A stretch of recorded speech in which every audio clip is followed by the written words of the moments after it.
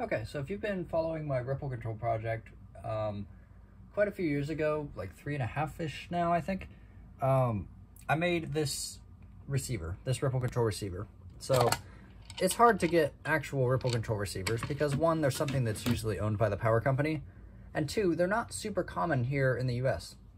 Now, there is a power cooperative in the North Dakota, South Dakota, Minnesota area. They run ripple control on their network over there, but I that's like the only spot I've ever seen it in the US. It's super common in Australia and New Zealand, which is that's where I got my real receivers from, if you remember. So, yeah, so I've been kind of over to the whole time I've been interested in this, I've been trying to make my own receiver in the hopes of making one good enough that I can like actually like put it on a PCB and get it working so I can actually use them. But this was my first attempt at it.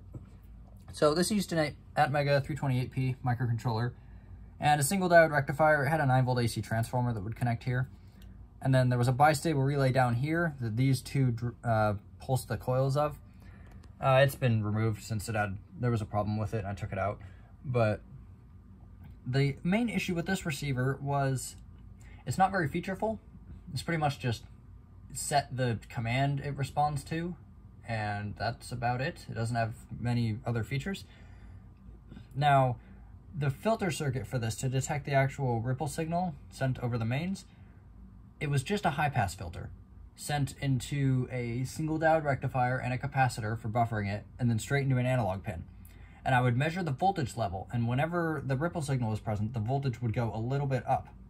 So that's how I was detecting it.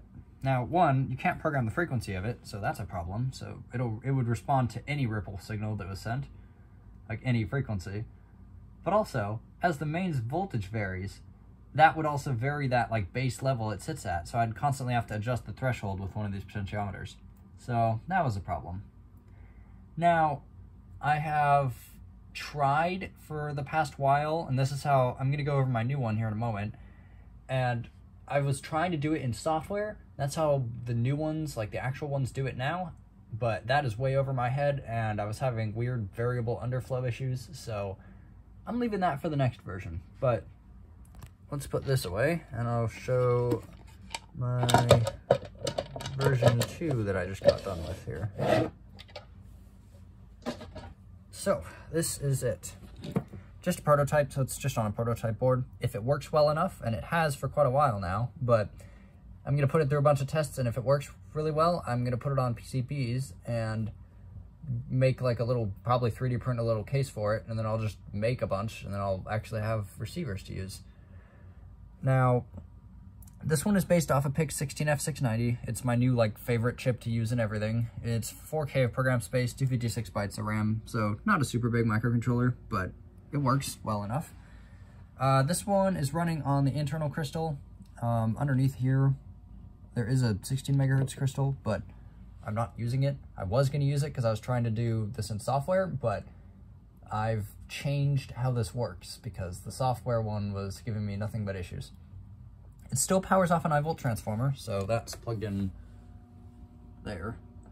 But I was trying to do this with a capacitive dropper, and I I mean, those are scary, one, because they reference to the mains directly, but I also couldn't find a good way to re just receive the actual signal when it's on a capacitive dropper, so I'll leave that part to version the next version as well.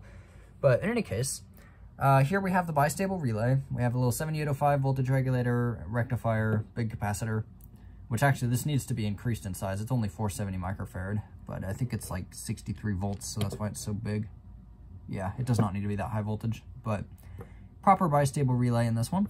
So these just have two, two pins for the contact and then three for the coils. So the, the center one is common positive and then you pulse either of the outer two to change the state of it.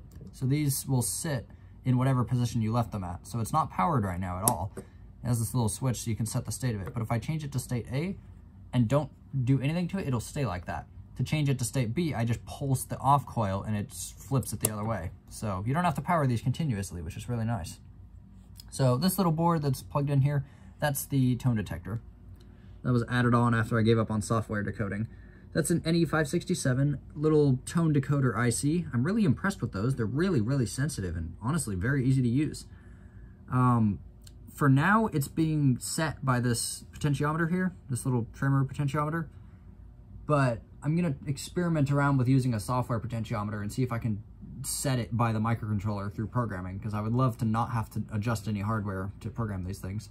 But uh, that is first passed through this four-stage RC high-pass filter, which gets rid of the 60 hertz most of the way. So then this can actually detect the signal. So it works really well. Little red LED on there that shows whenever this is detecting a signal. So it's basically a little PLL, and whenever its frequency matches the frequency it's receiving, the open collector goes low.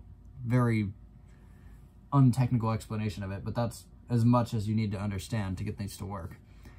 So, in any case, that's that. Transistors to drive the relay.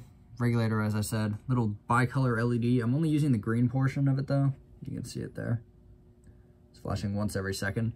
So, in the final model, it will be just a regular green LED, but um, once every second is normal and the clock is set.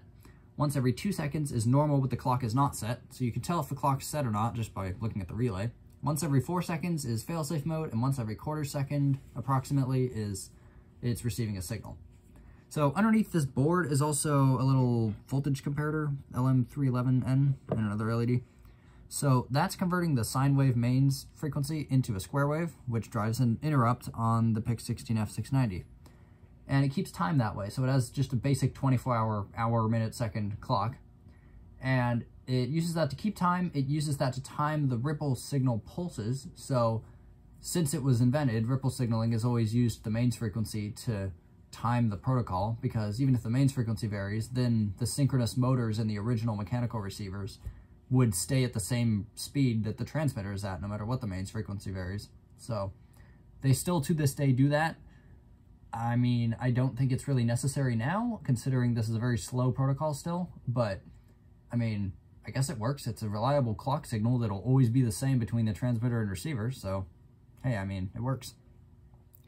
And then it's also continuously monitoring that, so it's counting how long it's been since the last zero crossing was detected. So if it goes over like 32 milliseconds I have it set to, it knows the power is lost, and then it can use the uh, charge in this capacitor to change the state of the relay.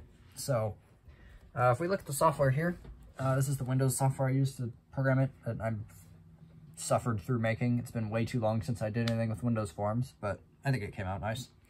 So here you can set the channel assignment. You can set the relay position at startup and power loss like I was talking about. Now why it says A and B is because if you look at actual ripple receivers, like this is a Zoeger RM3. So this uh, these are my 230 volt 50 hertz ones. I love this receiver, but it's really hard to use these on 60 hertz power, and I can't change the frequency of it, so makes them a little difficult to use, hence why I'm putting effort into making my own and trying to find a source for 60 hertz ones. But in any case, if you look at the relay, it's labeled A for on and B for off. Now, the newer ones, like the Enermet R03, like this one, it's not labeled on there like that, but if you look at the software, um, ROP, if you look in, in programming, it also refers to on as A and off as B. So not really sure why it does that, but I guess I'm just kind of keeping to the standards I can figure out based on what I've seen in real receivers. But in any case, you can set the on and off uh, states, like the relay states at startup and power loss.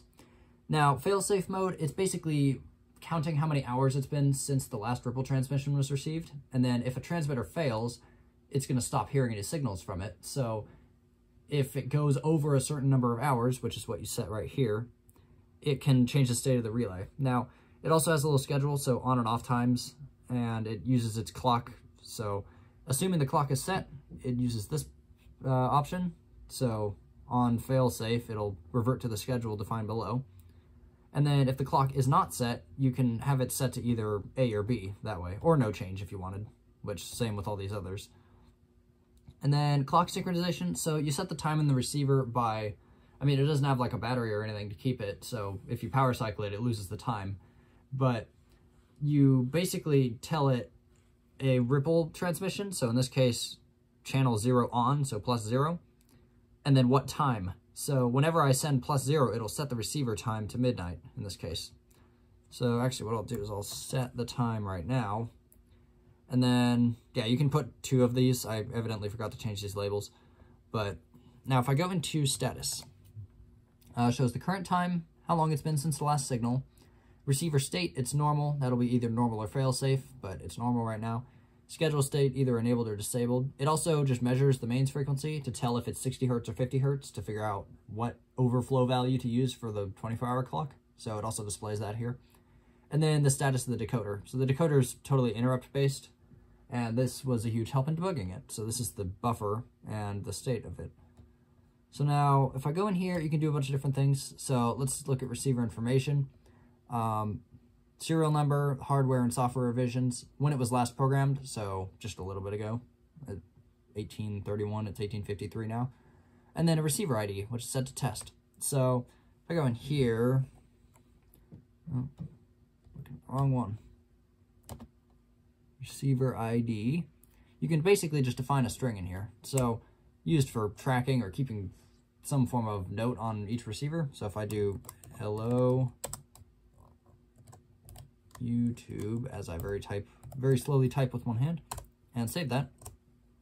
Now if we go back into information, you'll see hello YouTube is saved in there. So that's stored in the EEPROM. And now you can also emulate a signal. So if you want to test it without actually using a transmitter, you can just simulate a decrement command. So you can either pick from the list or just manually define the bits by changing these. Um, you can set the time, you can set the relay state to on or off. So it's currently off. If I turn it on, changes to on. Then you can also look at the status, which I was showing. You can look at previous signals, which I'll show in a minute, and then log monitor, which I'll also show in a minute. Restart receiver lets you just force it to restart as if it were just powered on, so it just triggers a watchdog reset. And then advanced, you can change timing values. So in here, the decoder average threshold. So in decabit protocol, which this is a decabit only receiver. I didn't mention that yet, but yeah, this is a decabit only receiver. And in decabit protocol, it will, each bit lasts 30 mains cycles. So 30 cycles of the 60 hertz mains is how long one bit lasts. Now, you can set a threshold in here, so how many out of those 30 have to show the signal present for it to consider that bit to be 1. So I have it set to 15, so it has to be at least half of them show um, the signal present. So if you have a weak signal, it can still kind of compensate for it. And then state change threshold, um, the signal coming from this 567, if you have like a weak signal or there's some form of noise, that can flicker in and out. So that's how many milliseconds it has to remain stable before it'll actually consider that to be the actual state that it is. And then mains failure threshold, that's how many milliseconds since the last zero crossing before it assumes the power failed. So if it was too sensitive and it false tripped all the time, you can change that. So now I guess I'll just send some commands to it. It's assigned to decabit channel 10 and 100. So if we go to my transmitter here, and nope, did the wrong one. Let's turn it on. If I send channel 10 on and cue that, and then I'll, actually I'll show the log this time. Control L. So this basically just shows all the log messages it generates real time. So if I send this signal to it, can watch this.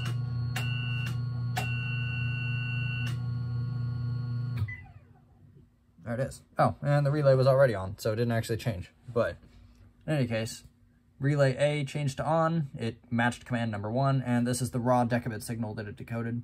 So plus 10 is what it figured it out as. And then let's turn it off. So we'll use the master command this time. So we'll do, send that. And I'll let you watch it here. There's the faster LED flash rate. There, and the relay turned off. And you see the little serial light flickered. So now if we look at the log, Minus 100 was decoded, command 2 matched, and the relay changed to state B. Now, I was talking about time synchronization, so let's uh, go ahead and send plus 0.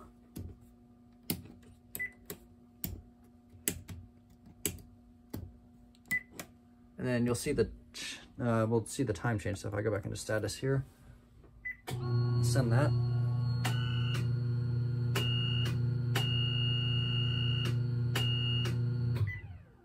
Yeah, so uh, you see the time was set to midnight because I just sent plus zero, and that was the time synchronization command that sets it to midnight as defined down here. So it also reset this counter, so that goes back to zero. The failsafe timer's set back to five hours basically, because that's what I have it set to. And then there's the last signal it received.